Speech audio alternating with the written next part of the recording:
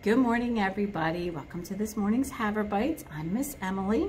And as all of you are probably aware already, tomorrow we're getting a new president here in the United States.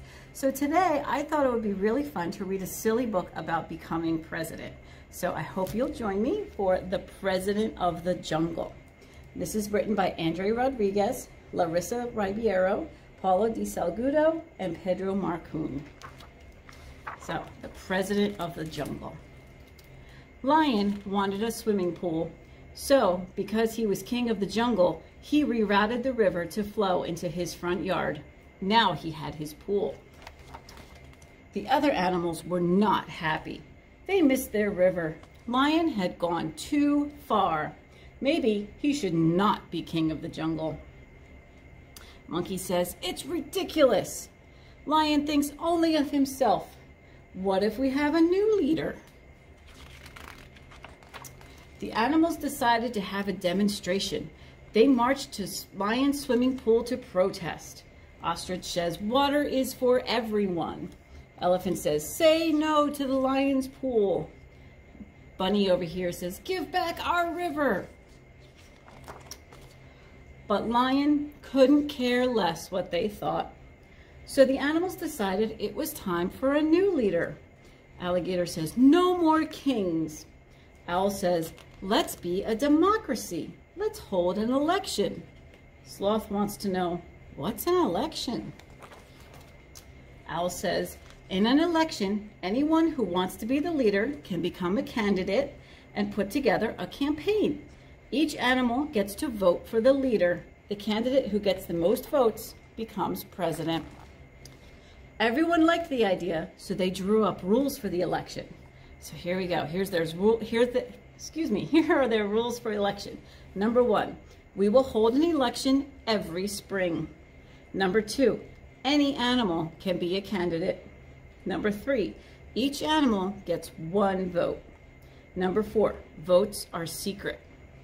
Number five, the candidate with the most votes wins. Number six, candidates cannot trade gifts for votes. Number seven, candidates cannot eat their opponents. That's a silly rule, but very important. Monkey, sloth, and snake were excited to become candidates. Lion didn't want to be left out, so he became a candidate too. Then the campaigns began. So here's Lion's poster. King of the Jungle, vote for Lion. And his vice president is going to be Lioness. So Lion says, My beloved subjects, I descend from a long line of kings. It was my cherished great-great-grandfather who expelled the smelly possums so the rest of us could live in peace. I provided jobs to the animals who diverted the water from the river to build my swimming pool. If something is not broken, do not fix it.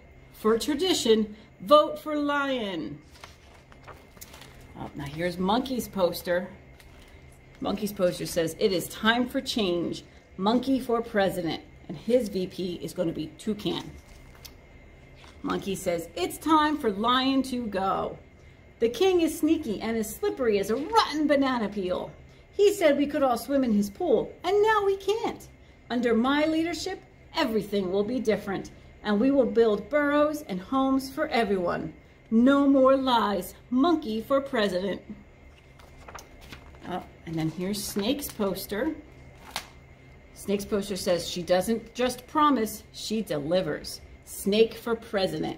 And her vice president is going to be Mouse. I am a popular snake. I grew up in the jungle with all of you. I crawled through burrows and nests getting to know you. We have faced the great drought together and we have survived fires and hunters. You know I will be there for you. Vote for Snake. Up, oh, and here's Sloth's poster. Sloth's poster says, make your vote count. Choose me, Sloth for president. And his vice president is going to be Ladybug. My fellow animals, it is time to plan our future together. I want to hear from all of you. And please don't judge me, my, judge me by my name. I am not lazy.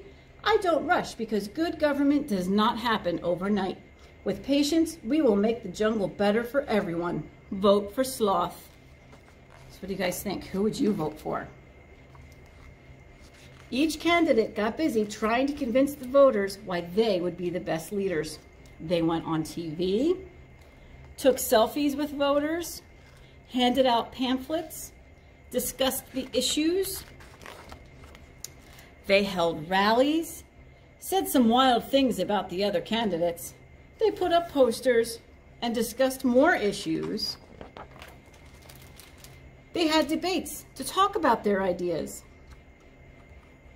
Somebody asks, Snake, how would you solve the bird traffic jams? Snake says, easy. Every bird will be assigned a time to fly. Somebody asks, why don't we ask the birds what they think? Somebody says, who cares? Just tell those high flyers what to do. And then somebody else says, snake is venomous. Lion says, well, nobody is better than me. Snake says, lion is selfish. Sloth says, hey, I didn't finish what I was saying. And sometimes they all just argued. Finally, election day arrived. The animals lined up to cast their secret votes in the ballot box. So you see they're all lined up and they're going to put their votes in the box. Owl was in charge of counting the votes. Unfortunately, Lion got disqualified for violating rule number six. You guys remember what rule number six was? Let's go back and look real quick. Rule number six, candidates cannot trade gifts for votes. So he was giving peanuts to people who said that they were going to vote for him. That breaks the rules. When the votes were added up, the new president was announced. It was, who do you think won? Sloth! The animals all gathered to hear Sloth's victory speech. In this election, I learned so much from everybody. We each have something to say, and we all should listen. Lion wants to be recognized for all his work. Monkey wants us to have food and shelter. Snake and I agree, we are stronger when we work together. The first thing I will do as president is to create a team to help us make the jungle a great place for every animal. That sounds really nice. And that is the story of how Sloth became the jungle's first president. Of course, not everyone was happy with the election results, so it was a good thing that there would be another election next year. The end. All right, guys, well, I hope you enjoyed and you learned a little bit about how an election works. So have a great day. I will see you guys again soon. Bye-bye.